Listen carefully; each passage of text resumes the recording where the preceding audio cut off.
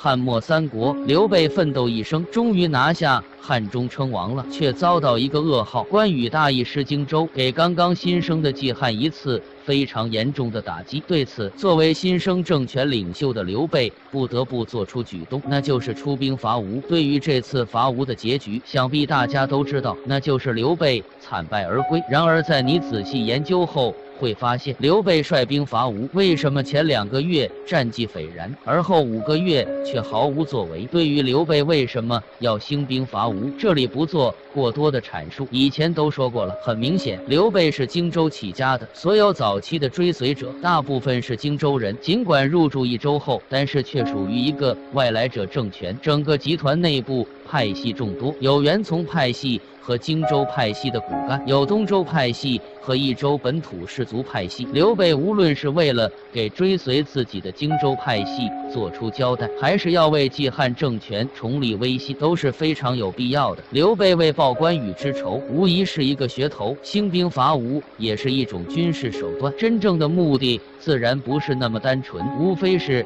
通过兴兵伐吴，用以恫吓、威慑东吴，达到稳固政权和取得荆州的目的。如如何看出来呢？我们从刘备伐吴的时间表上就发现问题。公元二幺幺年六月，刘备称帝后两个月就开始东征准备工作，令张飞从阆中出发去江州，自己从成都出发。七月份，刘备的前军部队就已经击败吴巫山李毅、刘阿等地守军，占领巫山、秭归一线。而东吴方面，八月份孙权向曹丕称臣投降，被封吴王。十一月，曹丕使者到达东吴。孙权接受封号，正式称臣。同月，孙权命陆逊为都律大军西进迎敌。到两百二十二年一月，陆逊部将宋谦开始反击蜀军。《三国志·吴主传》：黄武元年春正月，陆逊部将军宋谦等攻蜀五屯，皆破之，斩其将。两百二十二年二月，蜀军开始向东推进到夷陵一线，夷陵战役开始。《三国志·先主传》记载：二年春正月，先主军还秭归，将军吴班、陈氏。水军屯夷陵，夹江东西岸。二月，先主自秭归率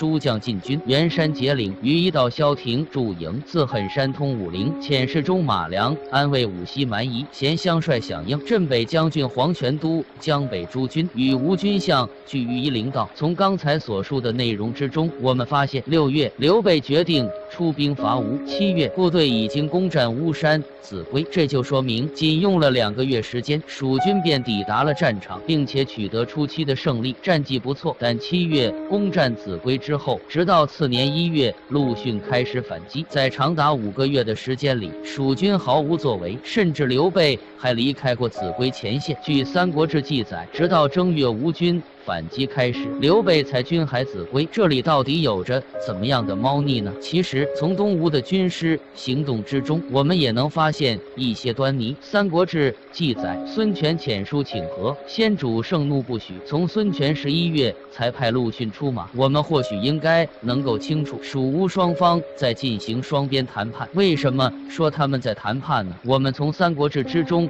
找出一些蛛丝马迹。夷陵之战结束后，邓芝出使东吴。得到了孙权的一个评价：丁有善章，殷化不进，和合二国，唯有邓芝、丁公、殷化两个名不见经传的小人物，却不能和合二国。真正能和合的，唯有邓芝。这说明什么？说明在邓芝之前，双方一定有过至少两轮谈判。而这两轮谈判，蜀汉派出的使者便是丁公、殷化。除此之外，我们还可以从诸葛亮的身上发现问题。这位蜀汉的丞相为什么没有阻止刘备伐吴？保持沉默，真的是因为不被刘备重用的因素吗？很显然不是的。诸葛亮在赵云等人反对伐吴的时候保持沉默，是因为他知道刘备的举动和目的，甚至说参与这个计划的指定，所以在战后莫名其妙地说了一句：“法孝直若在，则能治主上；令不东行，就复东行，必不轻微矣。”这样符合当时心中所想。法正就算不能劝阻刘备，也能让刘备不会这么惨败。我们可以。大胆地想象一下，刘备伐吴的这五个月为何毫无作为呢？其主要目的就是希望大。大军压境，以军事力量给东吴施加压力，迫使东吴屈服，划拨部分荆州给蜀，并就偷袭荆州、